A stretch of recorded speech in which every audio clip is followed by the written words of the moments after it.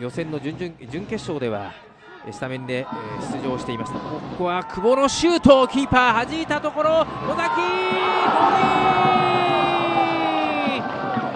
同点に追いつきました相模原。今シーズン自身2得点目穂崎。後半立ち上がり9分というところで相模原が同点に追いつきます。久保のこのシュート触った内藤ですが流れていったボールこの角度から同サイドぶち抜きました左足尾崎でした。